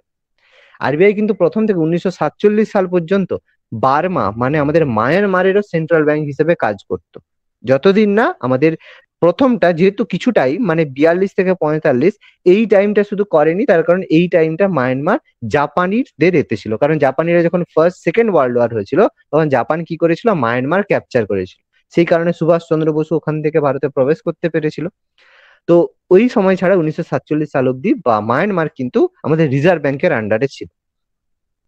আমাদের পাকিস্তান মানে ভারত স্বাধীন হওয়ার পরেও কিন্তু জুন উনিশশো আটচল্লিশ পর্যন্ত কিন্তু রিজার্ভ ব্যাংক পাকিস্তানেরও সেন্ট্রাল ব্যাংক হিসেবে কাজ করতো। এরপর ওরা নিজস্ব সেন্ট্রাল ব্যাংক পাকিস্তান তৈরি করে সেপারেট হয়ে যায়। আরবিআই কে ন্যাশনালাইজ বা জাতীয়করণ করা হয়েছিল উনিশশো উনপঞ্চাশ সালে ফার্স্ট জানুয়ারি নাইনটিন ফর্টি নাইনে রিজার্ভ ব্যাংকে জাতীয়করণ করা হলো। এতদিন রিজার্ভ ব্যাংক ছিল, কিন্তু এরপর কি করা হলো? জাতীয়করণ করে বলা হলো সবাইকে রিজার্ভ ব্যাংকের কাছ থেকে সম্মতি নিয়েই বাণিজ্যিক লাইসেন্স পেতে। আচ্ছা। তো এখন কি হয়? উনিশশো সাতান্ন অনুযায়ী আগে কি করতে হতো? যে বলা হতো যে যে যত খুশি টাকা রিজার্ভ ব্যাংক ছাপাতে পারত। কিন্তু এতে সমস্যা কি হলো? যে ইনফ্লেশনের সম্ভব ইনফ্লেশন প্রচুর পরিমাণে হচ্ছিল। এই কারণে বর্তমানে একশো পনেরো কোটি টাকার গোল্ড, সোনা এবং পঁচাশি কোটি টাকার বিদেশি মুদ্রা বা ফরেন কারেন্সি রেখে রিজার্ভ ব্যাংক যে কোনো পরিমাণ টাকা ছাপাতে পারে। কেন গোল্ড? গোল্ড কেন? অন্য কোনো কিছু নয় কেন? আমরা সবসময় যা রিজার্ভ করে রিজার্ভ ব্যাংক বলো বা যে কোনো দেশ সবসময় কিন্তু গোল্ড ই করে। গোল্ড প্রচুর দামি সেই কারণে। না সমস্ত কান্ট্রিতে এটা গ্রহণযোগ্য। এক্স্যাক্টলি দামের জন্য নয়। সমস্ত দেশ গোল্ড অ্যাকসেপ্ট করে। এবং আরও একটা কজ আছে কি বলতো? যে গোল্ড ক্ষয় না ক্ষয় হয় না। হয় না। তার মানে তুমি যদি কোনো জায়গায় এক কেজি গোল্ড রাখো সে দশ বছর পর, পনেরো বছর পর, একশো বছর পর এক কেজি গোল্ডই থাকবে। তার ওয়েট কমবেও না ওয়েট বাড়বেও না। ওকে এই জন্য গোল্ড কি করা হয়? আমরা সবসময় প্রত্যেক দেশ কিন্তু রাখে রিজার্ভ হিসাবে। আর ফরেন কারেন্সি রাখতে হয় একটা কারণে ফরেন কারেন্সির মধ্যে বেশি হয়, মার্কিন ডলার রাখে, তার একটা কারণ মার্কিন ডলার সবচেয়ে বেশি পাওয়ারফুল মানে মার্কিন যুক্তরাষ্ট্রের সাথে সবাই বাণিজ্য করতে চায়। ওকে আচ্ছা আমি বলছিলাম যে আম্বেদকারের কথাটা, এখানে দেওয়াই আছে। RBI was conceptualized as per the guideline working style of the outlook presented by B.R. Ambedkar. বইটার নাম ছিল the problem of the Indian rupee its origin and its solution এই বইটার উপর ভিত্তি করে আরবিআই তৈরি হয়েছিল। ভাবো। ঠিক আছে? যেটা হিল্টন ইয়ং কমিটি উনিশশো ছাব্বিশ সালে এই রিপোর্ট প্রকাশ করেছে। পেলাম? বুঝতে পারলাম? তাহলে ভাবো আম্বেদকার কত বড় লেভেলের লোক ছিল। কত বড় লেভেলের শুধু শুধুই তার নামটা বদনাম করেছে আমাদের বলে লাভ নেই কোন ব্যক্তি। আচ্ছা তো ভালো কথা, রিজার্ভ ব্যাংক যাত্রা শুরু করে যে উনিশশো সালের পাঁচ কোটি টাকার মূলধন। আর এই দেখো, পাঁচ লাখ একশো টাকা মূল্যের ইকুয়ালিটি শেয়ার নিয়ে। এই জিনিসটা কি? যে এই এই জিনিসটা হচ্ছে কি, রিজার্ভ ব্যাংকের কি হয়? যে প্রত্যেকের মালিকানা, যে একজন লোকের মালিকানা রয়, যে পাঁচ লাখ একশো টাকার ইকুয়ালিটি শেয়ার মানে তুমি চাইলে সেই একশো টাকার শেয়ার রয়েছে। তুমি চাইলে একশো টাকা দিয়ে একটা শেয়ার কিনতে পারো। তুমি চাইলে এক হাজার টাকা দিয়ে দশটা শেয়ার কিনতে পারো। তুমি চাইলে এক লাখ টাকা দিয়ে পঞ্চাশটা শেয়ার কিনতে পারো। পঞ্চাশটা হবে না, পাঁচশোটা হবে? যাই হোক, হবে। গুণ করে নিবে। একশো ইন্টু পাঁচ করে করে নিবে। তাহলে তুমি যত বেশি শেয়ার কিনবে, তত তোমার প্রফিটের পরিমাণ বেশি হবে। প্রফিট তুমি বেশি পেতে পারো লসও যেমন পাবে প্রফিটও পেতে পারো। এইভাবে কি কোম্পানি শেয়ার বিক্রি করে। যে দশ টাকার শেয়ার আছে, পনেরো টাকার শেয়ার আছে, এইভাবে কি হয়? শেয়ার এ হয় চেঞ্জ হয়। আচ্ছা এবার একজন গভর্নর একজন চারজন ডেপুটি গভর্নর এগুলো থাকে, এগুলো দরকার নেই। আচ্ছা এখানে কিছু ইনফরমেশন লাগবে। রিজার্ভ ব্যাংকের যে গভর্নর সে বোর্ডের চেয়ারম্যান আর এক্সিকিউটিভ অফিসার রিজার্ভ ব্যাংকের প্রথম গভর্নর আমি একটু আগে বললাম, দেখো Osborne Smith nineteen thirty five থেকে নাইনটিন থার্টি সেভেনে ছিল। স্বাধীন ভারতের প্রথম গভর্নর ছিল সিডি দেশমুখ ফর্টি এইট থেকে ফর্টি নাইন যিনি পরবর্তীকালে ভারতের অর্থমন্ত্রী হন এবং প্রথমবার বাজেট উত্থাপন করেছিলেন। প্রথম বাজেট সিডি দেশমুখ কিন্তু পেশ করেছিল। আমরা পরে তোমাদের এ পড়াচ্ছি পড়িছিলাম তো। কনস্টিটিউশনে পড়িছিলাম তো? ওই হ্যাঁ ফাইন্যান্স প্লাস যে প্রধানমন্ত্রী চ্যাপ্টারটা হ্যাঁ স্যার ওটা ওটা দেখোনি এখনও? ওটা দেখেছি স্যার রাষ্ট্রপতি প্রধানমন্ত্রী এগুলো দেখেছি আচ্ছা ওইখানে দেখবে আমি বলেছিলাম প্রধানমন্ত্রী চ্যাপ্টারেই দেখবে বলেছিলাম যেখানে অর্থমন্ত্রীদের সম্পর্কে বলছিলাম, ওখানে সিডি দেশমুখের কথা আমি মেনশন করেছি। ওখানটা একবার দেখে নেবে রিজার্ভ ব্যাংকের বর্তমান গভর্নর হচ্ছে শক্তিকান্ত দাস। আচ্ছা এবার রিজার্ভ ব্যাংকের অবজেক্টিভের মধ্যে রিজার্ভ ব্যাংক কি করে? আমি একটু আগেই বললাম যে মেনটেন করে প্রাইস স্টেবিলিটিকে প্রাইস স্টেবিলিটি মানে জিনিসপত্রের দাম যেগুলো রয়েছে সেগুলোকে কন্ট্রোল করে বা মেনটেন করে। যেমন, এবার বলবে, স্যার প্রাইস স্টেবিলিটি মেনটেন করার কি দরকার? দরকারটা হচ্ছে তুমি আজকে বাজারে গেলে, আজকে বাজারে গিয়ে দেখলে আলুর দাম দশ টাকা, কালকে বাজারে গেলে আলুর দাম হয়ে গেল চল্লিশ টাকা, তারপরের দিন বাজারে গেলে আলুর দাম হয়ে গেল পাঁচ টাকা। তাহলে তোমার মনে হবে ইস লস হয়ে গেল। তুমি হয়তো যেদিন পঞ্চাশ টাকা ছিল সেদিন এক কেজি আলু কিনে আনলে, তারপর দিন দেখলে যে এক কেজি আলুর দাম পাঁচ টাকা। তোমার আফসোস হবে। তাহলে যদি দাম ফিক্স থাকে, এক টাকা, দু টাকা পার্থক্য হয়, তখন তোমার মনে হবে না। কিন্তু যদি হিউজ পার্থক্য হয়, তখন তোমার মনে হবে এই জন্য আরবিআই প্রথম কাজ হচ্ছে প্রাইস স্টেবিলিটিটাকে দেখা, যে প্রাইসের দাম যেন কমে না বাড়ে। আর হচ্ছে সেই কারণে ফাইন্যান্সিয়াল স্টেবিলিটি রক্ষা করা। মানে লোকের যে আয় হচ্ছে বা ব্যয় হচ্ছে, সেটা যেন কন্ট্রোল অবস্থাতে থাকে। ওকে এটাই মেনলি আর আর কীভাবে করে? আমাদের ইনফ্লেশন কন্ট্রোল করে, যে আমাদের মুদ্রাস্ফীতি, এটাকেও আমরা দেখি। আচ্ছা এবার এখানে কথা আছে আরবিআই এর গভর্নর সম্পর্কে বলা আছে আরবিআই এর গভর্নরকে অ্যাপয়েন্ট করে একটা কমিটি যেটা হচ্ছে financial sector regulatory appointment search board committee এগুলো দরকার নেই, এগুলো সেরকম বোঝানোর মতো কিছু নয়। আচ্ছা একটা জিনিস এখানে আরবিআই এর কিছু কাজ আমি তোমাদের একটু ডিসকাস করছি। ফার্স্ট কাজ হচ্ছে কাগজি মুদ্রার প্রচলন মানে ইস্যু অফ নোট আমাদের যত নোট আমাদের আছে, দশ টাকার নোট কুড়ি টাকার নোট পঞ্চাশ টাকার নোট একশো টাকার নোট যত নোট আছে, সব নোট কিন্তু ইস্যু করে কে? রিজার্ভ ব্যাংক সব নোট কিন্তু রিজার্ভ ব্যাংক ইস্যু করে। শুধু একমাত্র যে কয়েন্ট হয়, এক টাকার নোট আর যত সমস্ত কয়েন্ট হয়, কয়েন কয়েন যেটাকে মিন্ট বলি, সেই মিন্ট বা কয়েন কিন্তু রিজার্ভ ব্যাংক তৈরি করে না। তার সেগুলো কিন্তু ফাইন্যান্স ডিপার্টমেন্ট বা আমাদের অর্থ দপ্তর করে থাকে। ওকে? এক টাকার নোট এবং সমস্ত কয়েন ছাড়া যত নোট হয়, সব রিজার্ভ ব্যাংক প্রচলন করে। ওকে? আর এক টাকার নোট কি ইস্যু করে? মিনিস্ট্রি অফ ফাইন্যান্স মানে আমাদের অর্থ দপ্তর, এটা করে। কিন্তু সার্কুলেট করে কি রিজার্ভ ব্যাংকের মাধ্যমে? রিজার্ভ ব্যাংক তৈরি করে অর্থ মন্ত্রক করে রিজার্ভ ব্যাংকে দিয়ে দিল, রিজার্ভ ব্যাংক সেটা বাজারে ছড়িয়ে দিল। মানে অন্যান্য ব্যাংকের মাধ্যমে। রিজার্ভ ব্যাংক তো রাস্তায় এরকম ছড়াবে না। মানে কমার্শিয়াল ব্যাংকে দিয়ে দেবে এসবিআই কে দিয়ে দেবে পিএনবি কে দিয়ে দেবে। পিএনবি যখন, তুমি যখন টাকা তুলতে যাবে বা দিতে যাবে, তখন তোমাকে সেই কয়েনগুলো বা নোটগুলো ধরিয়ে দেবে। ব্যাস, ওগুলো মার্কেটে আস্তে আস্তে রেগুলেট হয়ে যাবে, চলে যাবে। প্রথম কাজ, নোট ছাপান। সোজা কথা। দ্বিতীয় কাজ হচ্ছে, দেখো, সরকারের ব্যাংক হিসেবে কাজ সরকারের ব্যাংক মানে কি? যে গভর্নমেন্টের যদি কোনো সময় লোনের দরকার হয় গভর্নমেন্টের অনেক সময় টাকা শর্ট পড়ে যায়, মমতার টাকা খুব শর্ট পড়ে গেছে। তো তাছাড়া বা মমতা কিছু বেশি আয় করে ফেলছে, তাহলে সেগুলো কি করতে পারে? মমতা নিজের অ্যাকাউন্টে না রেখে গভর্নমেন্টের যে খরচ, হিসাব, সমস্ত কিছু কিন্তু রাখে রিজার্ভ ব্যাংক নিজের কাছে। সেই জন্য সরকারের ব্যাংক হিসেবে কাজ করে, তাহলে এই হিসেবে সে সরকারের ব্যাংক সরকারকে স্বল্পকালীন ঋণ দিয়ে থাকে। গভর্নমেন্টের যদি কোনো সময় প্রয়োজন হয়, টাকার দরকার হয় রিজার্ভ ব্যাংক কিন্তু ঋণ দিয়ে থাকে, কিন্তু সেটা স্বল্পকালীন যেটা স্বল্পকালীন মধ্যে জেনারেলি চোদ্দ দিনের লোন একটা দিয়ে থাকে। তো এটা তার মধ্যে কিন্তু ফেরত দিতে হয়। এবার রিজার্ভ ব্যাংক আচ্ছা আমি এখানে একটা কথা জিজ্ঞেস করি, তোমাদের কি মনে হয়?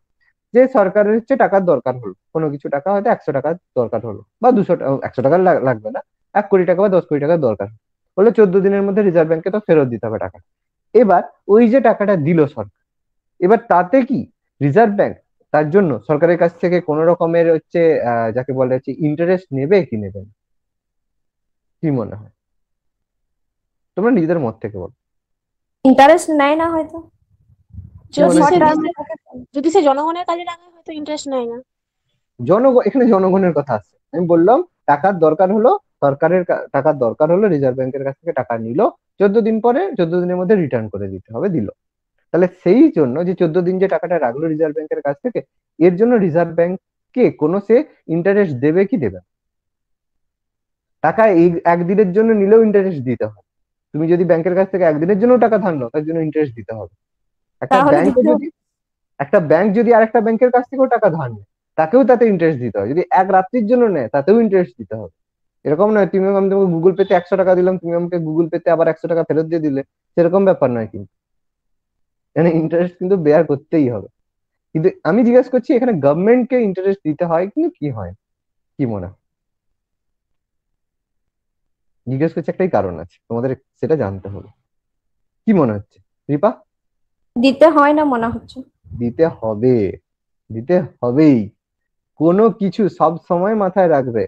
কোনো ট্রানজেকশন উইদাউট ইন্টারেস্ট হয় না। কোনো ট্রানজেকশন এক টাকা হলেও ইন্টারেস্ট দিতে হয়। তুমি যদি কাউকে দানও করতে মানে দান ছেড়ে দাও কোনো কিছু যদি তোমার মনে হচ্ছে যে তার কাছ থেকে তুমি টাকা নিতে চাও না কিন্তু তার কাছ হলেও তোমাকে এক টাকা অন্তত নিতে হবে। নাহলে সেটা ট্রানজেকশন হবে না, সেটা দান হয়ে যায় বুঝতে পারলে?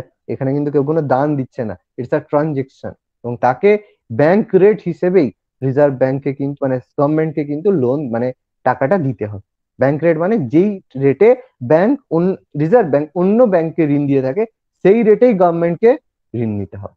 মনে থাকবে? মনে রাখবে? হ্যাঁ। এগুলো কিন্তু মাথায় রাখবে। এগুলো কিন্তু খুব ট্রিকি জায়গা, যেগুলো খুব ভুল হয়। আচ্ছা তাহলে সরকারের ব্যাংক হিসেবে কাজ করে সরকার যদি টাকার দরকার হয়, তাহলে সেই হিসেবে সরকারকে ঋণ দেয়, ঋণ নিয়ে থাকে। তাহলে অন্যান্য ব্যাংকের ব্যাংকার হিসেবে কাজ করে। অন্যান্য ব্যাংকের যদি টাকার প্রয়োজন হয়, তখনও রিজার্ভ ব্যাংকের কাছ থেকে টাকা ধার নিতে পারে। এবার এখানে একটা কথা বলা আছে যে রিজার্ভ ব্যাংকে বলা হয় শেষ পর্যায়ে ঋণদাতা। শেষ পর্যায়ে ঋণদাতা কেন বলছে রিজার্ভ ব্যাংকে কি মনে হয়? বলো। রিজার্ভ ব্যাংকে কেন বলা হয়েছে? শেষ পর্যায়ে ঋণদাতা। বলো কি মনে হচ্ছে? অন্যান্য ব্যাংকগুলোকে টাকা দিলে তারা যদি মানে লোন নিয়ে শোধ না করে দিয়ে পরে যদি ব্যাংকগুলো ডুবে যায় তাহলে তাদেরকেও লাস্ট পর্যন্ত সে ঋণ দিয়ে পরে হয়তো বাঁচিয়ে রাখতে পারবে। অনেক আচ্ছা। ওর প্ল্যাটফর্মটা তো অনেক বড় রিজার্ভ ব্যাংকের। আচ্ছা। আমি তাহলে একটা কথা জিজ্ঞেস করি। সাপোজ তুমি একটা জায়গায় হচ্ছে আহ, তুমি একটা কোনো একটা জায়গায় গেছো বা কোনো একটা জায়গায় তোমার প্রচুর লস হয়েছে। তোমার হয়তো ধরো যে ধরো পাঁচ হাজার টাকার দরকার পড়েছে ঠিক আছে? এবার তোমার পাঁচ হাজার টাকা দরকার পড়লে তুমি প্রথম তোমার কাছে অপশন আছে তোমার বন্ধু ঠিক আছে? আর আর তোমার অপশন আছে বাড়িতে বাবা ঠিক আছে? এবার তুমি কার কাছে ধার চাইবে? প্রথমে তুমি কার কাছে ধার চাইবে? বন্ধুর কাছে ধার চাইতে হবে প্রথমে যাতে বাড়ির লোক না জানতে পারে। যাতে বাড়ির লোক না জানতে পারে। কারণ কি বাড়ির লোক যদি জানতে চায় কেন দরকার কিসের জন্য দরকার টাকা দেবো তার মানে এই করতে হবে সেই করতে হবে কিছু রেস্ট্রিকশন দেবে। সেই রকম সেই কথাটাই এখানে বলা হয়েছে। এবার বলতে পারবে? না আমি এক্সপ্লেন করার আগে? কেন শেষ পর্যায়ে ঋণদাতা? এবার একটু বুদ্ধি লাগবে ব্যাংকগুলো যদি না দেয় যেগুলো কেন দেবে না? দেবে না কেন? কেন দেবে না? তোমার যদি সে তাই থাকে ব্যাংক ব্যাংকের কাছ থেকে সে যে টাকা ধার নিচ্ছে সে ইন্টারেস্ট তো সে নিবে। সে কেন দেবে না? নিশ্চয়ই দেবে। কেন দেবে অবশ্যই দেবে। আপনি বলুন। ব্যাপারটা কি হয় যে রিজার্ভ ব্যাংক কি করে? যখন অন্যান্য কমার্শিয়াল ব্যাংক কি করে? প্রথমে যদি লসের মধ্যে পড়ে যদি টাকার দরকার হয় সে কি করে? অন্য ব্যাংকের কাছ থেকে ঋণ ঋণ নেবে। অন্য ব্যাংকের কাছ থেকে ঋণ নেবে। তাতে যা ব্যাংক রেট আছে সেই রেটে সে ইন্টারেস্ট দেবে। ফলে তাতে লাভটা কি তার? সে সেই টাকায় সে দিয়ে দিল, কোনো অসুবিধা নেই, সেই টাকা সে পেয়ে গেল, তাতে কোনো অসুবিধা নেই। সেই ব্যাংক কিন্তু কখনোই অন্য ব্যাংকের উপর কোনো রুলস রেগুলেশন চাপাবে না। কিন্তু যখনই তুমি রিজার্ভ ব্যাংকের কাছ থেকে টাকা ধার নিতে যাবে রিজার্ভ ব্যাংক কিন্তু তোমার উপর রুলস রেগুলেশন দেবে। বলবে যে, এই যেহেতু তুমি আমি তোমাকে এত টাকা দেবো, তার মানে তোমার সিআরআর এত টাকা তোমাকে এত করতে হবে। তোমার হচ্ছে তোমার মানে প্রত্যেক অনেক কিছু রুলস রেগুলেশন রিজার্ভ ব্যাংক চাপিয়ে দেবে। এই কারণে রিজার্ভ এই কারণে রিজার্ভ ব্যাংকের কাছ থেকে কোনো ব্যাংক নিতে চায়। কিন্তু যখন বাধ্য হয় যে ঋণ নিতে তখন অ্যাট লাস্ট গিয়ে ব্যাংক কি করে রিজার্ভ ব্যাংকের কাছ থেকে ঋণ নেয় এই জন্য রিজার্ভ ব্যাংকে বলা হচ্ছে শেষ পর্যায়ে ঋণদাতা মানে যখন রিজার্ভ ব্যাংক মানে অন্যান্য ব্যাংক যখন একদম চূড়ান্ত বাধ্য না হয় তার আগে কিন্তু কখনোই সে ব্যাংকের কাছ থেকে লোন নেয়। বোঝা গেছে আচ্ছা এটাই হ্যাঁ, বলা। আছে দেখো রিজার্ভ ব্যাংক সেম ফাংশন অন্য it regulate and personalise help bank in the when needed এই যে বলা আছে last resort RBI is ultimate source of the credit money of India এবার এখানে একটা কথা আছে দেখো, নিয়ন্ত্রক হিসাবে কন্ট্রোলার অফ ক্রেডিট নিয়ন্ত্রক হিসেবে কাজ করে। যে আমি একটু আগেই বললাম রিজার্ভ ব্যাংক কি করে? আমাদের বিভিন্ন ক্ষেত্রে কন্ট্রোল করতে সাহায্য করে। কিছু যে আমাদের মার্কেটে যে যত টাকা রয়েছে, যে টাকার পরিমাণ বাড়াতে হবে না কমাতে হবে, সেই সংক্রান্ত যত কন্ট্রোল কন্ট্রোল কিন্তু রিজার্ভ ব্যাংক করে থাকে। তার মধ্যে কি করে? দুটো প্রসেসে করে। একটা হচ্ছে কোয়ালিটেটিভ আর একটা হচ্ছে কোয়ান্টিটেটিভ তো দুটো প্রসেস আছে কোয়ালিটেটিভ কিছু মেথড কিছু কোয়ান্টিটেটিভ মেথডে কাজ করে। আর আর কি করে সেগুলো আমরা পরে রয়েছে। আর রিজার্ভ ব্যাংক কি করে? স্বর্ণ এবং বৈদেশিক মুদ্রা ভান্ডারের তত্ত্বাবধান। এই যে বললাম আমরা গোল্ড রাখি, সেই গোল্ডকে রিজার্ভ ব্যাংক কালেক্ট করে রাখে, নিজের কাছে রাখতে হয়। আর কি করে? বিদেশি মুদ্রা। আমাদের ফরেন কারেন্সি সেটাও কিন্তু রিজার্ভ ব্যাংকে রাখতে হয়। এবার আমাকে একটা কথা বলল, কেন ফরেন কারেন্সি আমাদেরকে রাখতে? নাও তো রাখতে পারে। ফরেন কারেন্সি আমাদের রাখার কি প্রয়োজন? কি মনে হয় বলো? ফরেন কোনো জিনিস কিনতে হলে ফরেন কারেন্সি থেকে বা মানে রিজার্ভ না করে রাখলে হবে কি করে? বা আমাদের দেশের লোক যদি বাইরে যায় তখন তাদেরকে তো সেই কারেন্সি ইউজ করতে হবে সেই দেশেরই। একদম ভালো ঠিকই বলেছ। আরেকটু ভালো হবে আরেকটু ঠিকঠাকই বলেছ। আরেকটু যদি কোনো একটা এক্সাম্পল দিয়ে বলে দাও খুব সুন্দর হয়ে আমাদের দেশের কোনো ব্যবসায়ী যদি মানে বিদেশে গিয়ে কোনো কিছু আনতে চায় বা খাটাতে চায় তখন?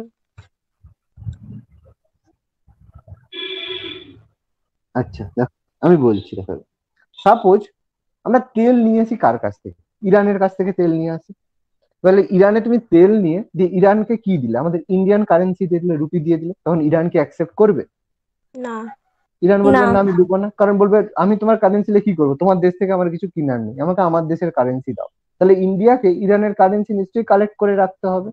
নাহলে সে কিনতে পারবে না। এবার যদি তেল না কিনে তাহলে কি হবে? সাইকেল চালাতে হবে আমাদেরকে। ব্যাস অবস্থা খারাপ হয়ে যাবে। তাহলে সাইকেল তাহলে এই কারণে কি হয়? আমাদের সমস্ত দেশের কারেন্সি আমাদেরকে স্টোর করে রাখতে হবে। এটা কিন্তু কালেক্ট করা থাকে একমাত্র রিজার্ভ ব্যাংকের কাছে। লিমিট থাকে কোনো? লিমিট থাকে না। লিমিট নয়। রিজার্ভ ব্যাংক তার মতো করে এবার এটা কি গভর্নমেন্ট এবার লিমিট বলতে কি বলতো? গভর্নমেন্টকে বেশি করে রাখতেই হয়। এবার সেটা লিমিটের কোনো ব্যাপার নেই তুমি রাখতেই পারো কিন্তু তোমার তো খরচ তো হবেই। কত তুমি কি টাকা জমা করে করে রাখবে? যে দেশের কারেন্সি কি এমনি তুমি কি সেই কি বলে ওই আর কয়েন জমা করে রাখার মতো রেখে তো লাভ নেই। তোমাকে কারেন্সি নিয়ে আসতে হবে সেটা খরচ করার জন্য। সেই কারেন্সি আনতে গেলে করতে গেলেও তো আমাদেরকে ওই তাদের কারেন্সি দিতে হয় সেই করতে হবে একদম। সাপোজ কোন একটা সেই দেশ মানে সাপোজ ইরান আমাদের দেশ থেকে কিছু কিনতে চাইছে। তখন আমি বলব ইরানকে বলব না ইন্ডিয়ান রুপি তো আমরা হচ্ছে ইন্ডিয়ান রুপিতে আমাদেরকে হচ্ছে পেমেন্ট করতে হবে। তাহলে সেই ইন্ডিয়ান রুপি তাদেরকে দেওয়ার জন্য তাদেরকে আগে আমাদের কাছ থেকে কিছু কিনতে হবে নাহলে তো তারা কোনো কিছু দিতে পারবে না। ঠিক আছে? এছাড়া কি করে? আমাদেরকে আমাদেরকে বৈদেশিক মুদ্রা স্টোর করে রাখতে হবে কিন্তু তাহলে ওদেরকে কেন স্টোর করে রাখতে হবে না? ওদেরকে কেন কিনতেই হবে? ওরাও তো আমাদের দেশের মুদ্রা স্টোর করে রাখতে পারে। হ্যাঁ অবশ্যই রাখে।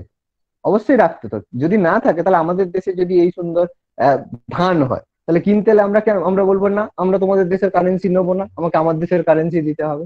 তোমার দেশ থেকে তো আমার কিছু কেনার নেই। তাহলে আমরাও তো। ওরকম করতে পারি যে আমরাও তো ওরকম করি তো। আমাদের কারেন্সি নেব না। হ্যাঁ তোমাদের কারেন্সি নেব না। এই এই জন্যই তো তাদেরকে কালেক্ট করতে হয়।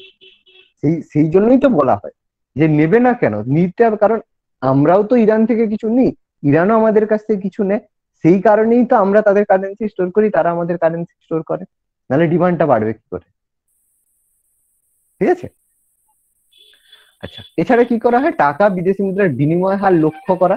মানে এই যে এক টাকা মানে এক ডলার মানে পঞ্চাশ টাকা বা ষাট টাকা। এটা যেন বেশি হেরফের না হয়। সেটা রিজার্ভ ব্যাংক দেখবে, এই যে টাকার বিনিময় মূল্য, অর্থাৎ ভারতীয় মুদ্রায় বিদেশি মূল্য টাকার দাম রাখার স্থিতিশীলের দায়িত্ব থাকে রিজার্ভ ব্যাংকের হাতে। রিজার্ভ ব্যাংক কি করে? অন্যান্য ব্যাংকের নিকাশি ঘর বা ক্লিনি ক্লিয়ারিং হাউস হিসেবে কাজ করে। নিকাশি ঘর বলতে যে কোনো ব্যাংক যদি কোনো কিছু লস করে থাকে, তখন তার যে ভরপাই সেটা রিজার্ভ ব্যাংক করে থাকে।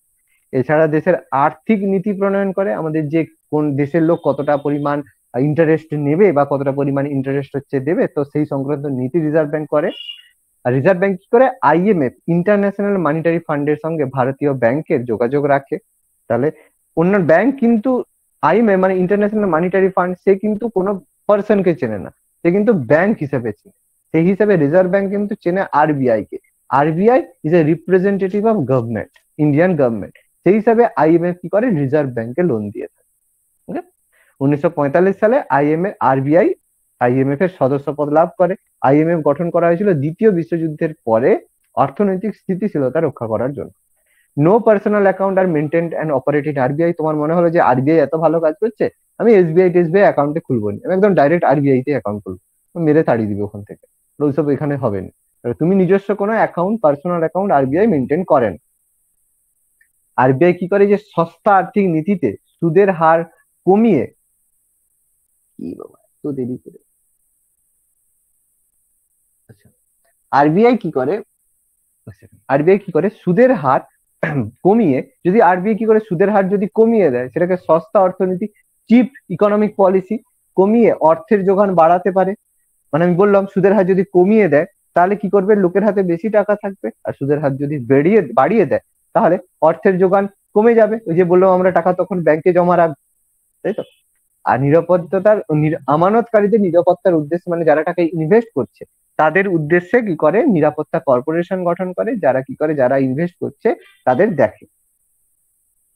আচ্ছা, এগুলো বলা আছে উনিশশো হাজার তোমাদের হচ্ছে উনিশশো আঠাত্তর সালে হাজার টাকার নোট বাদে সব তুলে নেওয়ার পরে ফের দু সাত সালে দু হাজার দু হাজার সাল থেকে এটা চালু করা হয় হাজার টাকার নোট। তারপরে আমাদের দু হাজার পনেরো সালে আমাদের হচ্ছে আহ হাজার টাকার পাঁচশো টাকার হাজার টাকার নোট তুলে নেওয়া হয়েছে আবার। এক টাকার নোটে সমস্ত কারেন্সিতে রিজার্ভ ব্যাংকের গভর্নরের সই থাকে, এক টাকার নোটে থাকে মিনিস্ট্রি অফ ফাইন্যান্স মানে অর্থ দপ্তরের অর্থমন্ত্রীর নয়, অর্থ সচিবের স্বাক্ষর থাকে ফাইন্যান্সিয়াল সেক্রেটারি স্বাক্ষর থাকে, এক টাকার কয়েনে আমাদের এক টাকার কয়েন নোট ছাড়া আর সমস্ত নোটে রিজার্ভ ব্যাংকের গভর্নরের সাইন থাকে। ওকে আচ্ছা তো এগুলো আমরা মোটামুটি ডিসকাস করলাম। এবার ক্রেডিট কন্ট্রোলে যে নিয়ন্ত্রণের নীতিগুলো বলেছিলাম যে কোয়ালিটেটিভ কোয়ান্টিটেটিভ এখানে এই যে ব্যাংক রেট মানে ব্যাংক যে টাকায় হচ্ছে রিজার্ভ ব্যাংকে লোন দিয়ে থাকে সেগুলোকে ব্যাংক রেট বলা হয়। আর ক্যাশ রিজার্ভ রেশিও আমি একটু আগেই বললাম কোনো ব্যাংক যদি টাকা জমা রাখতে চায় তাহলে তাকে রিজার্ভ ব্যাংক ব্যাংক খুলতে চায় তখন একটা পার্সেন্টেজ রিজার্ভ ব্যাংকে মেনটেন করতে হয়। সেটাকে ক্যাশ রিজার্ভ রেশিও বলা হয়। আচ্ছা। লিকুইডিটিটা একটু বলুন। আচ্ছা লিকুইডিটি কোথায় এখানে দেখলে কোথায় বলো তো লিকুইডিটি এখানে নেই তো। চিপ মানি আর সেই ডিয়ার মানি দেখালেন নি ওখানে ওই যে এখানে কোথায় হ্যাঁ, এই চিম মানি পলিসি আর ডিয়ার মানি পলিসিতে লিকুইডিটি কিছু একটা ছিল। আচ্ছা। এটা এখানে নেই? হ্যাঁ। নিচের দিকে ইংলিশটা আর একটু নামান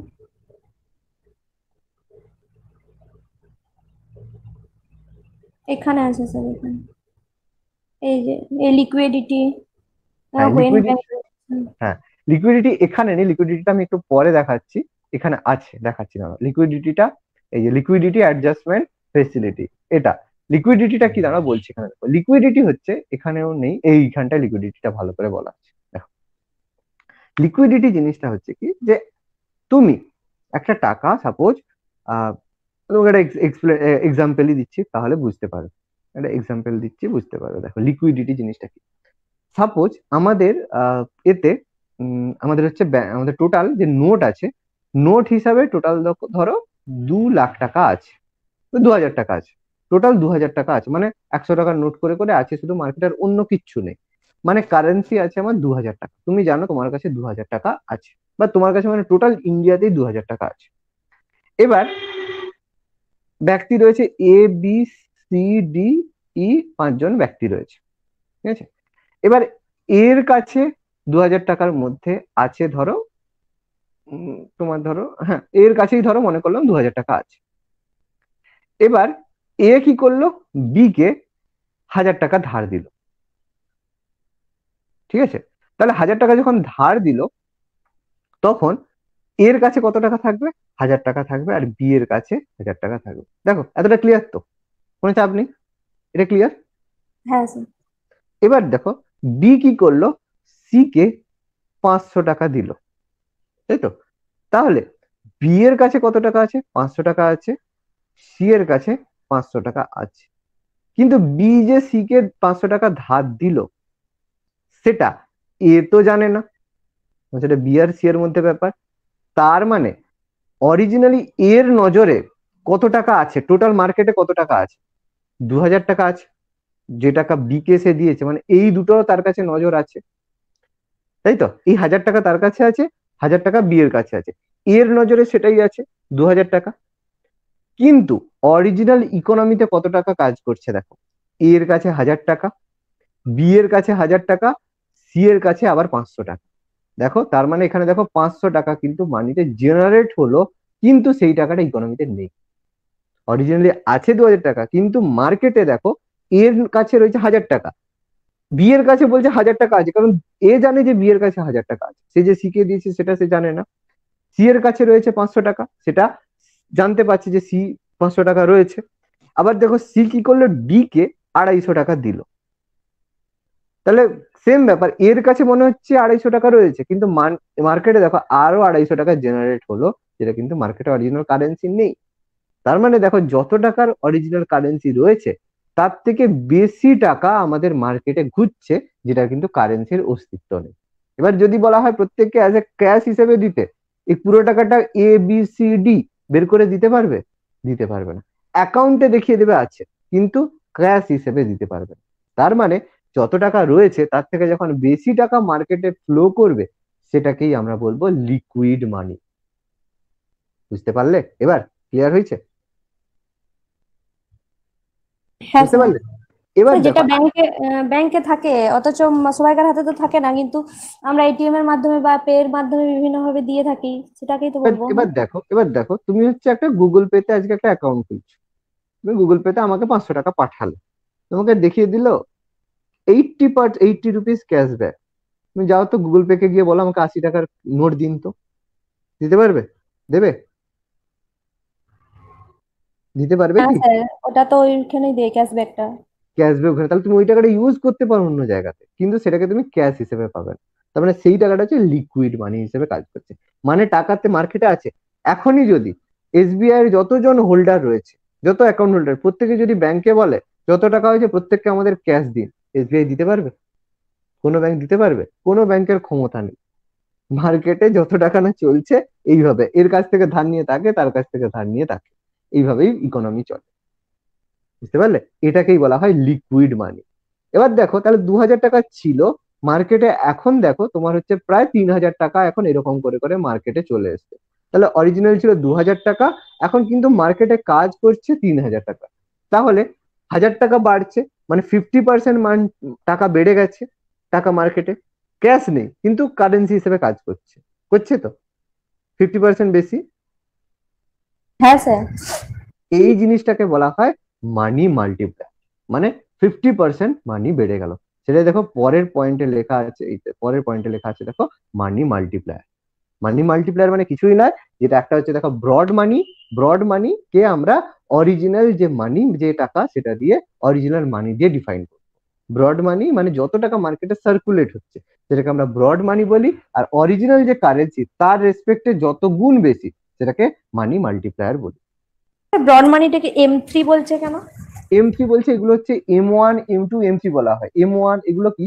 টাকা যদি কোনো একটা প্রাইমারি যে রিজার্ভ মানিকে দেখো এম ওয়ান বলছে। রিজার্ভ মানি যেটা আমাদের প্রথম অরিজিনাল টাকা থাকে সেটাকে আমরা রিজার্ভ মানি বলে থাকি। প্রথম টাকা। এবার এম ওয়ান কোনটাকে বলব? এম ওয়ান বলি সেই টাকাকে যেই টাকাটা আমাদের ব্যাংক থেকে মানে আমরা ব্যাংকে যে টাকাটা জমা দিচ্ছি সেটাকে এম ওয়ান বলছি। ব্যাংক আমাদের যে টাকাটা দিচ্ছে সেটাকে আমরা এম টু বলছি। আর এইগুলো মানি যেটা লিকুইড মানি হচ্ছে সেটাকে আমরা এম থ্রি বলছি। এভাবে ভাগ করা থাকে। এগুলো ইকোনমিক্স এগুলো সম্পর্কে ডিটেলস থাকে। এগুলো তোমাদের এতটা লাগে। বুঝা গেছে? কি বললাম বুঝতে পারলে? ঠিক আছে স্যার আচ্ছা যাই হোক তোমরা মোটামুটি এই নোটটা একবার একটু রিভিশন একটু পড়বে। যেই জায়গাগুলো আটকে যাবে একটু নোট করে রাখবে। প্রিন্ট আউট করে নিয়েছো পিডিএফটা না স্যার আমার প্রিন্ট আউট করা হয়নি। আচ্ছা যদি যদি কর, পারো তো একটু করে নেবে, পুরোটা পড়বে, যেই জায়গাগুলো আটকে যাবে পেজ নাম্বার দিয়ে বলবে, পরে আরেকটা ক্লাস যখন করব স্যার এই পেজে এটা আটকে গেছে, আমি এখানে ডাইরেক্ট দেখিয়ে স্ক্রিনে আমি তোমাদেরকে বলে দেবো। একবার রিভিশন করবে, যেটা আটকে যাবে, আমাকে জিজ্ঞেস করে নেবে। ওকে পড়ে নেবে স্যার এই পেজে এই জায়গাটা বুঝতে পারিনি, বলবে, আমি পিডিএফ এখানে ওপেন করব, যেই জায়গাটা আটকে গেছে, আমি সেখানটা এক্সপ্লেন করে রেকর্ডিংটাও দেখতে পারো রেকর্ডিংটা দেখার পরেও যদি কিছু আটকে যায়, জিজ্ঞেস করে নেবে আমাকে। ওকে